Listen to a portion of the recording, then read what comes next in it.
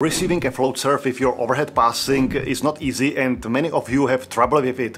That's why I have great exercises, tip and advice on how not to only improve your serve passing, but how to take it to the another level. I will also tell you what major mistakes to avoid and when you should not think about uh, receiving serve with uh, overhead passing.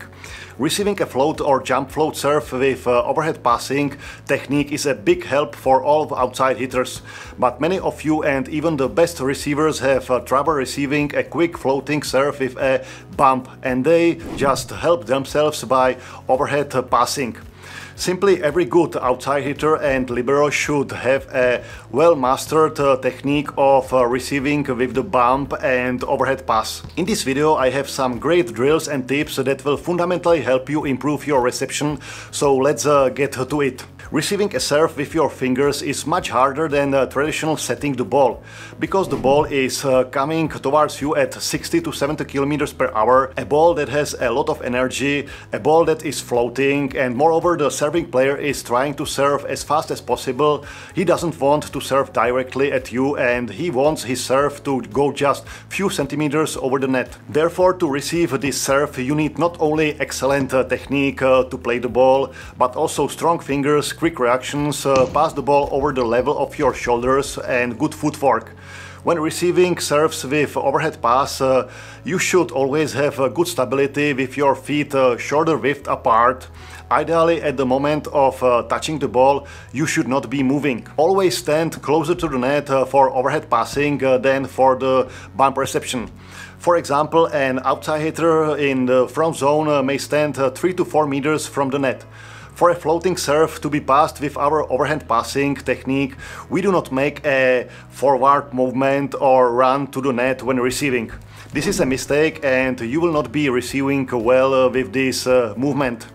Instead, uh, with a overhead passing, we step back uh, if the ball is flying backwards or sideways.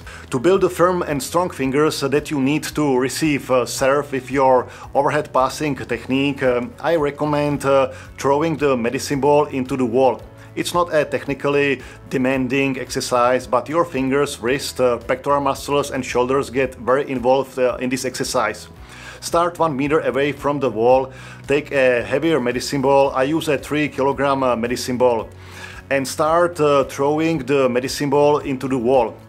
The important thing is to touch the medicine ball with all your fingers, not just three fingers. The medicine ball has a lot of energy when it bounces off the wall and you try to throw it uh, to the wall again faster.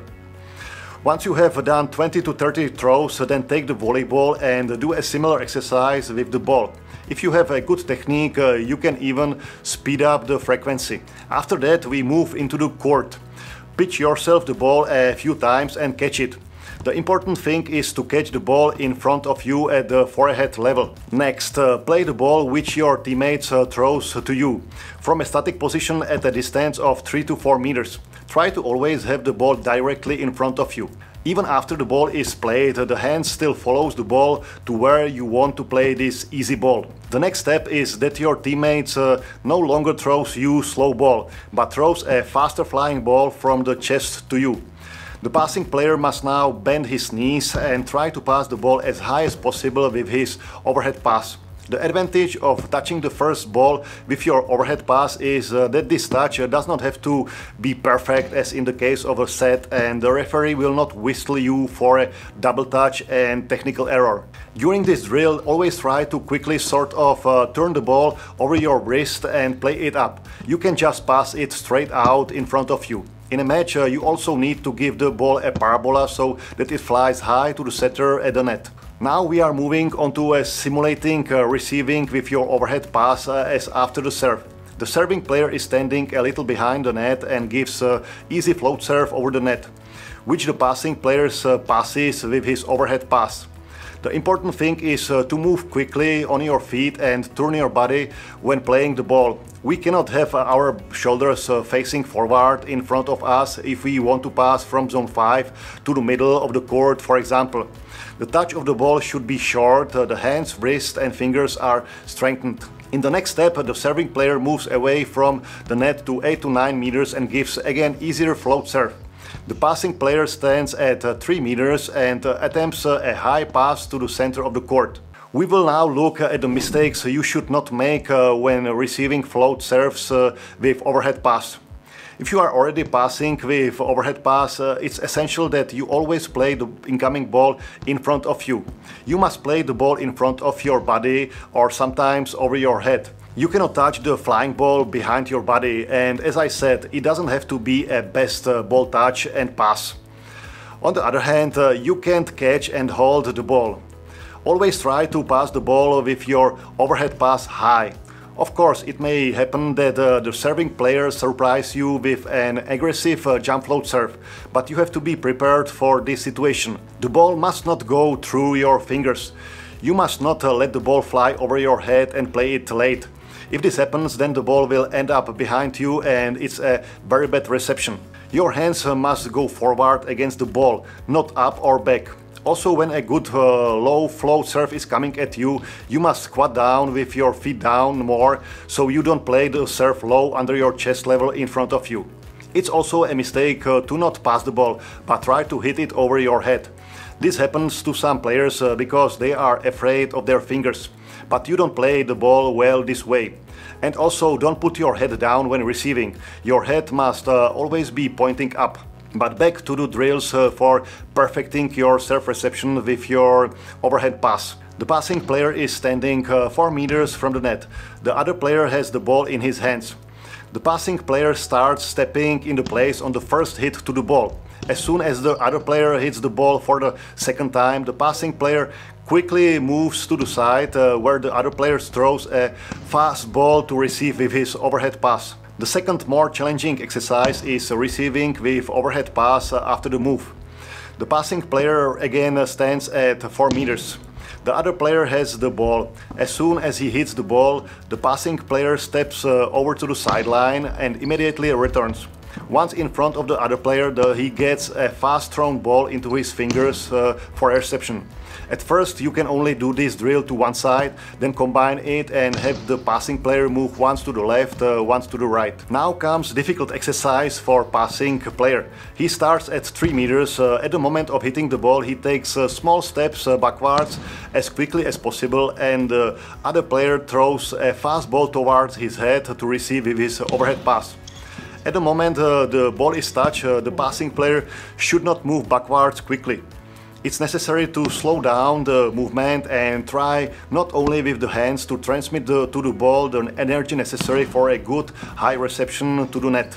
Sometimes, however, you get into a situation where it's not a good idea to consider receiving with uh, the overhead pass technique. First of all, liberos don't pass this way. The vast majority of top liberos have a great bump technique and they don't do overhead pass. These players are so fast and usually smaller in stature that their feet get to all the balls and you won't see any overhead pass with them. But you know that uh, normally we don't serve uh, into libero anyway.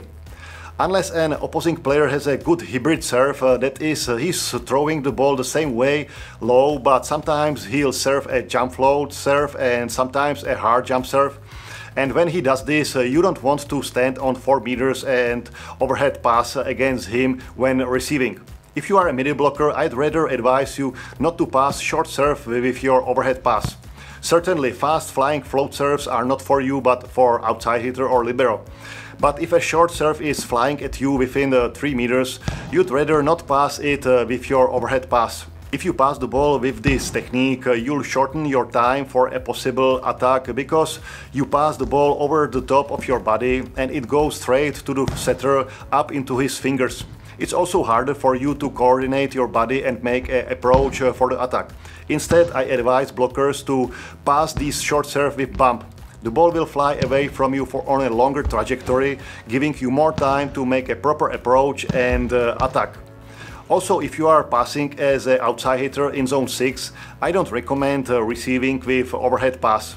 Because if you stand at 4 meters and pass the ball with your overhead pass, uh, then you won't have time to step away and be ready to get set and ball to the pipe. And of course, uh, don't pass the hard jump serve uh, with your overhead pass. You can stand at 4 meters and expect to pass a good jump serve at uh, 200 plus kilometers per hour. Nobody can do that. It's also important to keep your fingers dry for receiving. Uh, you will not pass well with wet fingers. Also the ball should be dry, but you can control that as a receiver.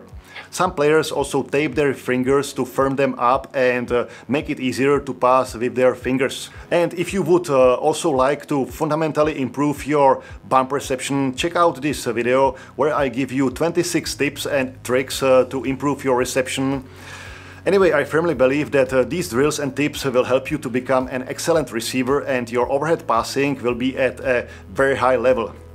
I'll see you in the next video. Bye.